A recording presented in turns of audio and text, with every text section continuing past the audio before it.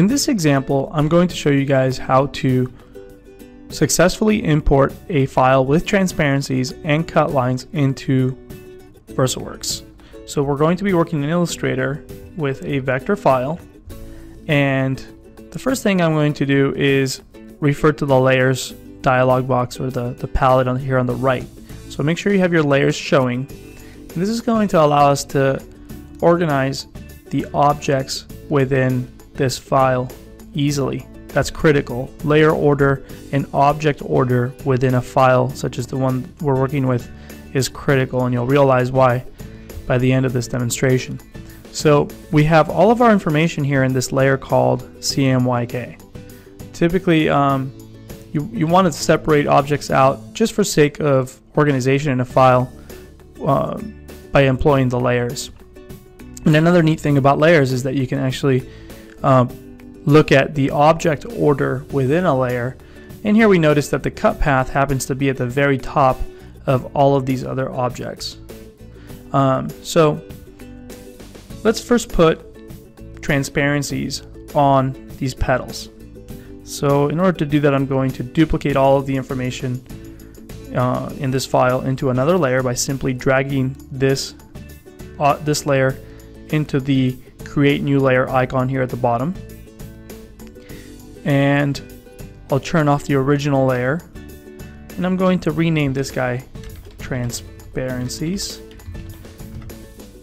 The name is not important, I'm just doing this to be able to identify the objects.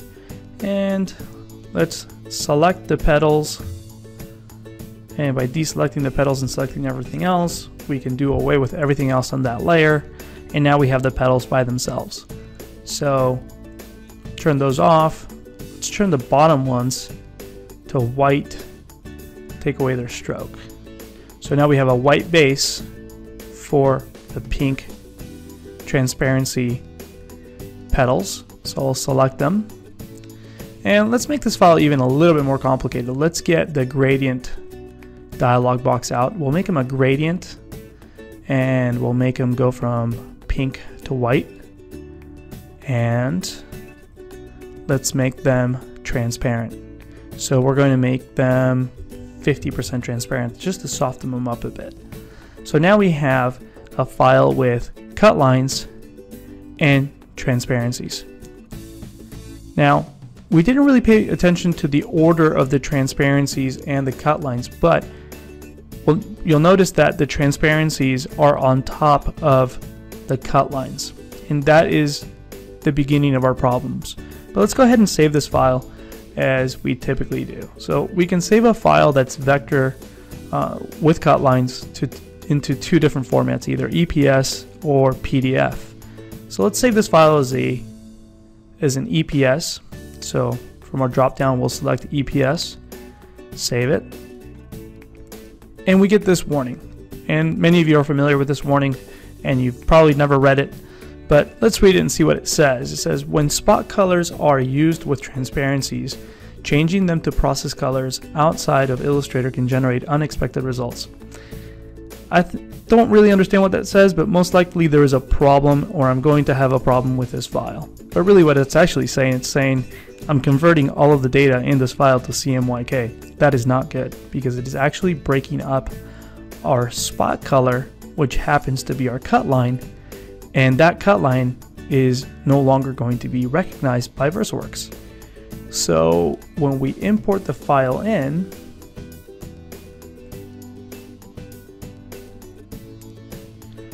upon import, we see that the cut lines are not there. And that is not good. So let's resolve that problem.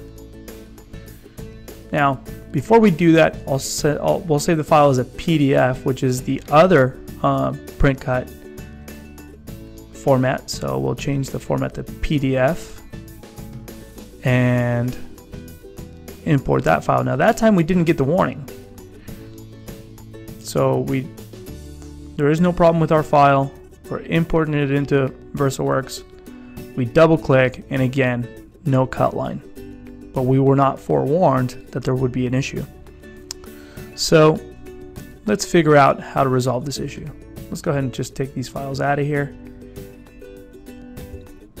and I'll show you how to overcome that problem. So at the beginning of this uh, little demonstration, I said that object order and layer order was critical in order for this to work. And the first step and the first thing you're going to do is this. You're going to get this cut line to be on top of this transparency. And you can do that by, in this case, simply duplicating, again, the CMYK data, which happens to have the cut line information in it. We'll turn off the CMYK base file. We'll select the cut line and do away with all of the art. And now we have the cut line isolated in its own layer. And we'll call this one cut line or cut contour. The name doesn't really matter. It's just just for organization's sake. You can call it cut line or anything you want. Now, the one thing we do want to do though is we want to place it on top of the transparency. It must be on top of the objects with transparencies, which, which are the petals here. Okay, so now we have our cut line and then the transparencies, but in their object order, the cut lines are on top. Let me turn those off and then we'll take the cut line away from the base CMYK information because we don't want that, that line to print instead of cut. So now we have everything in the proper order. We have the color data, the transparencies, and the cut line in the right order.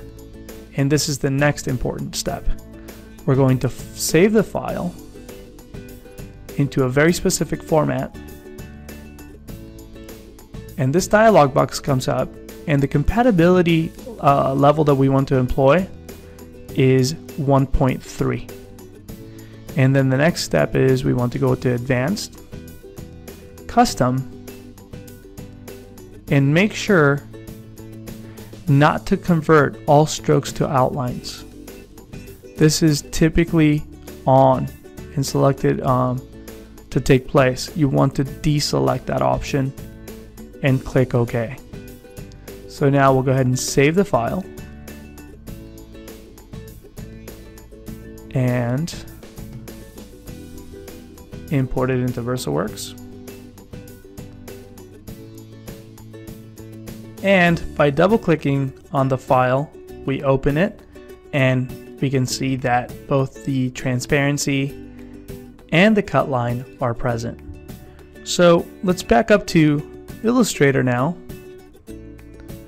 and we'll review the structure of this file. So again, we have the CMYK data in the bottom, the transparency information is on top of that, and the cut line for the sake of layer order is at the very top. Now, if we were to merge all of this information, so we'll merge the layer,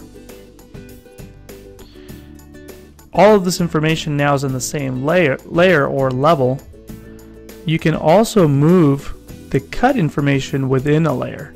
So if the cut information, for example, was below the transparency, which is unidentified here, and we save this file, and we'll just save it as a version with one layer.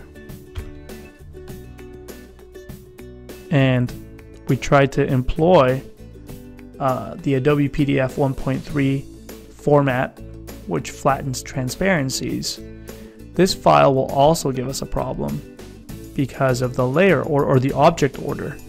So if we double click on it, the cut line does not show up. And if we go back to Illustrator and place the cut line in the object order or the sub order of this layer, we place the cut line on top of the transparencies. And we do the same thing again save it. And we'll just call this one layer on top. And save. Again version 1.3 let's confirm that convert all strokes to outlines is not selected confirm that save PDF, minimize. We'll bring that file into VersaWorks.